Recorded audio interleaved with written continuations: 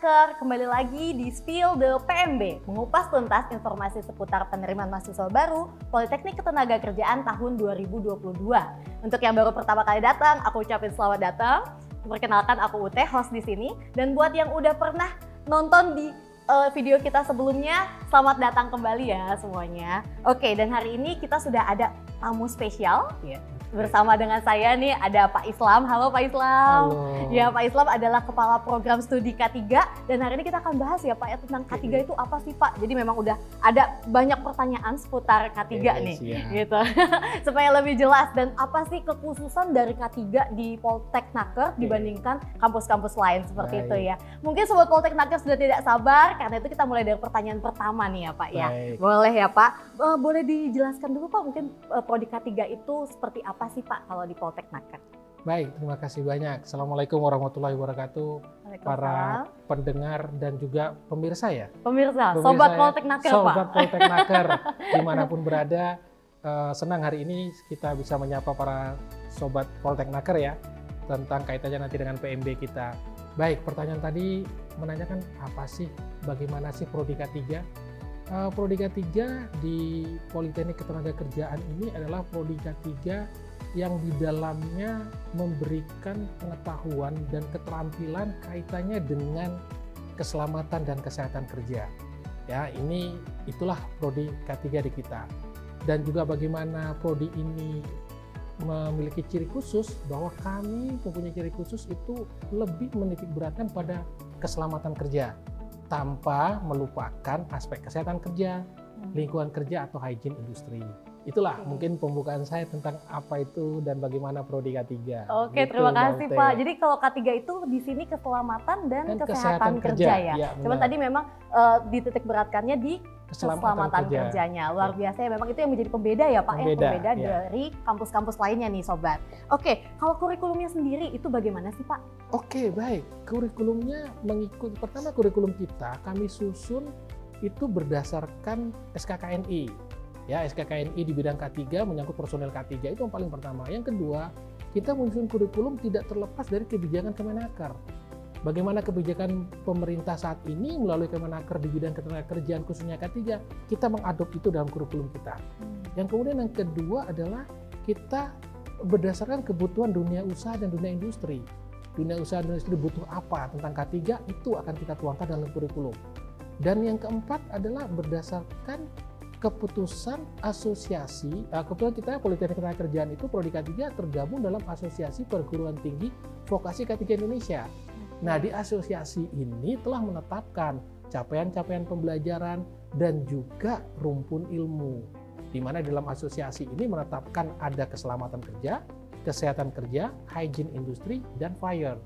Empat ini yang jadi itu jadi landasan kita menyusun kurikulum dan yang terakhir berdasarkan perkembangan ilmu pengetahuan dan teknologi. Itulah tadi yang dasari kurikulum kami di Prodi K3. Begitu Mbak Ute. Oke, terima kasih Pak. Jadi kalau tadi ada yang menarik Pak ya. terkait dengan asosiasi ya. ya. Itu berarti asosiasi uh, orang-orang K3 gitu ya Pak, asosiasi profesi K3 seperti itu bukan? Uh, bukan asosiasi, tapi asosiasi perguruan tinggi oh, perguruan vokasi K3. Oh. Oke, oke, oke. Yang saat ini diketuai dari uh, Pak Prof Susanto. Nah, mereka lah merumpuskan menjadi pegangan kita dalam menyusun kurikulum. Oke. Begitu. Iya. Nah tadi juga ada um, dikembangkan dari KKNI seperti itu ya, ya. Pak ya. Jadi itu memang upaya untuk link, link and match antara pembelajaran di kampus ya. dengan di pekerjaan, pekerjaan nanti ya Pak ya? Benar, seperti itu. Oke, kalau metode pembelajaran sendiri nih Pak, kalau di RI kemarin kan disampaikan 60% praktik dan 40%-nya itu pembelajaran teori. Kalau Oke. di K3 seperti apa? Nah, di K3 itu secara umum 60-40 juga. Oke. 60 praktek, 40 uh, teori, namun pada mata kuliah tertentu itu 70-30. Oh. Uh, itu seperti ada beberapa mata kuliah memang lebih banyak prakteknya seperti hygiene industri, kemudian ada kaitannya dengan uh, bekerja di ketinggian, confined space itu lebih banyak praktek daripada kita melaksanakan teori seperti itu. Oke, jadi memang harapannya akan terasah keterampilannya Oke, ya, ya selama empat tahun ya Pak ya, ya di empat ini empat tahun ya. Nah lalu kalau dari kampusnya sendiri Pak, fasilitas untuk praktiknya tuh apa aja ya Pak? Oke, gini, Uh, Alhamdulillah setelah kita uh, beberapa tahun berjalan Politeknik Ketenagakerjaan Prodi K3, kita sudah memiliki lab. Ya, hmm. lab K3 dan insya Allah dari keempat unsur tadi keselamatan, kesehatan, hygiene atau lingkungan, dan juga yang terakhir tadi fire, insya Allah sudah terpenuhi. Walaupun mungkin kalau saya presentasikan sekitar 70% sudah terpenuhi. Nah, bagaimana kekurangannya? Kita kerjasama dengan pihak-pihak luar. Contoh seperti kita kerjasama dengan Balik K3 Jakarta. Dan juga perusahaan-perusahaan lain yang memang ada wahana-wahana praktik K3. Seperti kita kerjasama dengan salah satu perusahaan jasa pelatihan K3, kita untuk praktek bekerja dalam air, praktek di ruang terbatas, praktek di ketinggian. Itu kita lakukan. Dan contoh juga nanti tentang pemeriksaan pengujian pesawat uap bencana tekan. Kita kerjasama juga dengan pria, uh, perusahaan jasa pemeriksaan dan pengujian untuk praktek. Dan yang sekarang sedang kita kembangkan dan insya Allah tahun depan akan selesai 100%, kita sedang membangun workshop K3. Jadi nanti ada lab K3 yang kita indoor, ada lab K3 outdoor yang kita namakan workshop K3. Nah ini sedang kita kembangkan dan insya Allah tahun depan ini akan selesai. Jadi dua fasilitas ini paling tidak sudah mampu memenuhi sampai 70-80% kebutuhan praktek mahasiswa Prodi K3. Sisanya tadi yang mungkin kita tidak bisa siapkan, kita kerjasama dengan pihak ketiga. Pihak ketiga dalam hal ini perusahaan itu perusahaan. Kan ya, langsung ke perusahaan. Perusahaan. Jadi mereka benar-benar paham tentang bagaimana kebutuhan di industri. Jadi kita langsung prakteknya di industri tadi seperti itu. Oke, menarik sekali ya sobat Poltek Nakar. Udah terbayang kan kira-kira apa sih yang akan kita pelajari? Seperti apa praktik-praktiknya yeah. ya sobat ya. Yeah. Nah, kita udah agak jauh nih Pak. Mungkin kita bisa agak ke bagian landasannya. Sebenarnya kalau profil lulusan dari K3 itu seperti apa sih Pak nantinya? Oke, profil lulusan yang kami rancang dan ini sebenarnya dirancang sudah lama ya semenjak berdirinya Poltek. Karena Poltek berdiri di situ juga uh, prodi K3 juga berdiri dengan prodi dua prodi lainnya. Jadi kami uh, profil kita adalah lulusan kami nanti itu memiliki kemampuan untuk merencanakan, melaksanakan dan mengevaluasi pekerjaan-pekerjaan di K3. Itu yang pertama. Karena pekerjaan apa pun di dunia kerja pasti K3 di dalamnya. Jadi mahasiswa kita harus mampu ya melakukan pekerjaan karena contoh aja pekerjaan di satu industri misalnya bukan monoton satu alur aja tapi begitu banyak uh, jenis pekerjaan menghasilkan satu produk kan seperti itu.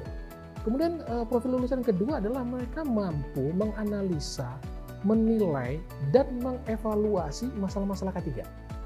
Nah, ini kompetensi dua kompetensi apa profil lulusan inilah yang menurut kami sangat dibutuhkan di industri. Karena tidak ada industri yang melaksanakan kegiatan tanpa K3 dan setiap kegiatan tidak ada yang tanpa atau diawali dengan namanya risk assessment. Penilaian tadi meng, apa, uh, mengidentifikasi, menilai dan mengevaluasi tentang suatu resiko. Nah, inilah dua profil, profil lulusan kami adalah seperti ini yang kami rancang dan uh, berdasarkan profil ini tadi dan juga tadi dasar membentuk kurikulum kita desain kurikulum ini agar uh, profil ini bisa kita hasilkan seperti itu. Oke. Okay. Nah. Kalau kompetensinya nih Pak untuk mendukung mereka akhirnya ke arah profil lulusan, kompetensi apa sih Pak yang dibangun di prodi ini? Oke, okay. kompetensi kita yang jelas kompetensi menyangkut empat hal tadi, hmm. ya. Jadi ada menyangkut nanti di keselamatan, kesehatan, lingkungan uh, hygiene atau dan fire, ya seperti itu. Nah, kalau kompetensi secara umum di, di kita itu ada kalau saya umpamakan pohon, batang besarnya itu oleh K3 umum. Kompetensi sebagai K3 umum. Cabangnya sangat banyak.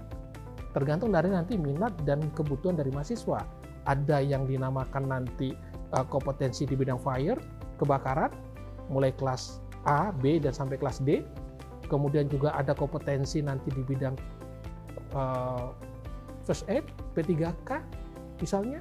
Dan ada kompetensi hygiene, di mana hygiene itu ada anestesi muda, media dan utama, dan juga mungkin ada petugas pengukur gas detektor, dan banyak kompetensi. Namun kita di Prodi K3 yang wajib dimiliki oleh mahasiswa kita adalah ahli K3 umum, karena ini adalah kebijakan Kemenaker harus kita ikuti. Dan yang kedua adalah uji kompetensi kaitan dengan hygiene industri muda. Ini wajib mereka miliki sebelum mereka lulus. dan jadi dengan memiliki sertifikat kompetensi ya, itu, jadi mereka... nanti mereka dinyatakan sudu nggak bisa ngambil ijazah sebelum punya dua ini gitu kan di samping itu ada kompetensi-kompetensi lain yang itu sifatnya uh, sesuai dengan kebutuhan mereka entah tadi kebakaran, fire, atau bekerja di ketinggian, bekerja di ruang terbatas sebagai petugas utama, atau bekerja di dalam air sebagai uh, pekerja selam kelas 1 misalnya seperti itu sebagai pilihan. Tapi yang wajib itu dua tadi. Ya, itu agar tadi uh, capaian pembelajaran kita itu bisa terpenuhi. Jadi contoh tadi tentang dia mampu mengidentifikasi, menganalisa dan juga mengevaluasi masalah-masalah K3 itu nanti bisa didapatkan di uh, kompetensi sebagai LK3 umum. Hmm. Nah, hajian industri tadi itu bisa menyangkut lingkungan kerja. Nah, lingkungan kerja ini kalau kita secara singkat itu ada faktor fisika, faktor kimia, biologi, psikologi, ergonomi, itu semua ada di tempat kerja. Jadi dia punya kompetensi himu, dia masuk dunia kerja, dia akan canggung untuk melihat kelima faktornya ada di semua jenis pekerjaan. Wow. Seperti itu. Lengkap sekali ya penjelasannya ya sobat ya. Dan sudah terbayang, makin terbayang nih kayaknya nih Pak. Tapi kita boleh jawab pertanyaan dari Instagram nih ya Pak ya. Ini Oke, ada pertanyaan silakan. dari Instagram uh, terkait dengan lulusannya. Jadi terkait dengan lulusannya, itu lulusannya tuh bisa bekerja di mana saja sih? Lalu apakah lulusan K3 itu bisa menjadi safety office di pertambangan gitu? Itu salah Oke, satunya Pak dan sejenis baik. itu. Kurikulum kami kami desain untuk mampu bekerja di semua sektor. Oke. Oke. Mau pegawai pemerintah bisa dia sebagai pengawas ketenaga kerjaan, penguji K3 di Kemenaker, atau bisa nanti masuk di rumah sakit rumah sakit milik pemerintah hmm. sebagai safety officer di sana. Ya pegawai pemerintah PNS ini lagi favorit nih. Ya yang kedua dia bisa sebagai pegawai di industri sebagai safety officer atau administrasi K3 kemudian dia bisa masuk di dunia konsultan konsultan K3 dia masuk di perusahaan-perusahaan pemeriksaan dan pe, pemeriksaan dan pengujian lingkungan pemeriksaan pengujian peralatan K3 dia bisa masuk di sana dan dia juga bisa sebagai instruktur dia masuk di perusahaan-perusahaan jasa pelatihan K3 dia bisa masuk di sana bahkan bisa juga gantikan saya di sini sebagai dosen di Politeknik Ketenagakerjaan. Oh kira sebagai kaprodi pak? Nah, nanti, oh, nanti masih panjang gitu kan? Iya, iya, Jadi Pak. bisa masuk ke dunia pendidikan dan yang terakhir dia bisa wirausaha hmm. di bidang K3 sebagai dia dia sebagai jasa konsultan, jasa pemeriksaan pengujian misalnya bisa dilakukan seperti itu. Luas. Yang penting ada proses produksi di sana, ada proses jasa, K3 ada di sana. Jadi nggak usah khawatir. Ya seperti itu Mbak Oke, Oke, sepertinya sudah makin, aduh pokoknya jadi makin nggak sabar nih kayaknya dari sobat-sobat Polteknaker yeah. nih iya. Pak. Ingin buru-buru cepat mendaftar di Prodi K3 gitu. Kan tadi luas banget ya sobat ya, jadi di pemerintahan bisa, terus di swasta, swasta juga bisa, terus jadi konsultan gitu ya, usaha sendiri itu juga bisa banget. Yeah. Ya, sepertinya sudah semuanya nih Pak ya pertanyaan okay. dari teman-teman nih. Sekali lagi terima kasih banyak ya Pak terima untuk penjelasannya. Nanti terima mungkin kalau ada pertanyaan tambahan kita boleh sampaikan ke Bapak ya Pak. Boleh karena memang boleh. ada banyak DM DM yang masuk ataupun dari WhatsApp nih Pak terkait okay, dengan boleh. prodi Siap. ini. Siap. Ya, terima kasih banyak sobat Polteknaker. Jangan lupa untuk segera mendaftar di PMB untuk registrasi dan dengan prodi K3 tentunya. Sampai jumpa di dalam Spill the PMB berikutnya. Bye bye.